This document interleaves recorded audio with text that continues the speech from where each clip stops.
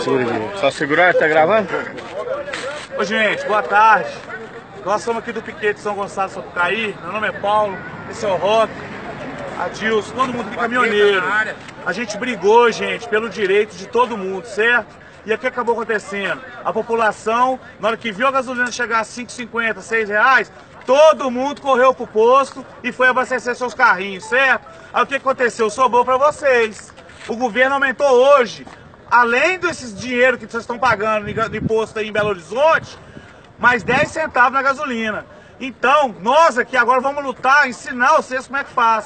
Vocês têm que ir pra rua, para esses postos aí em Belo Horizonte, que vai vender essa gasolina hoje, cerca o posto, não deixa ninguém abastecer não. Se vocês deixarem fazer igual a gente tá fazendo aqui, vocês vão perder. Não vai ter como a gente lutar por vocês. Lá em Brasília foi falado que é pra gente cuidar do diesel, porque o povo tá satisfeito. O povo foi pro posto e abasteceu. E agora? Como é que vai fazer? Vocês têm que dar seus pulos também, ajudar a gente. Vem pra rua, pô.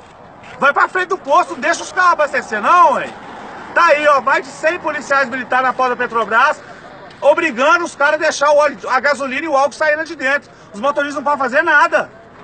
Ninguém foi lá para ajudar os caras. Motorista não é super-homem, nós somos humanos igual vocês. Nós estamos correndo atrás do prejuízo de todo mundo. Mas se vocês não ajudarem, não tem jeito. É ou não é, ó? Verdade.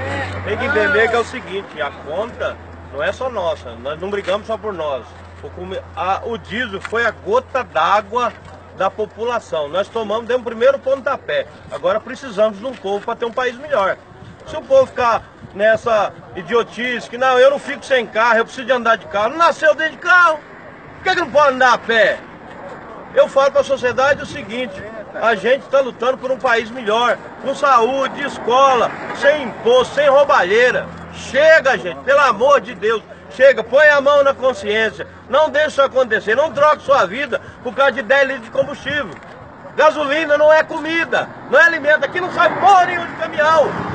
Nós não vamos deixar, aqui ninguém abastece. Aqui no sul de Minas São Gonçalo ninguém abastece. O povo tá com a gente. É só acompanhar a mídia aí. Certo, Paulinho? Certo, tá certo. Segue o conselho vocês vão se dar bem. Obrigado.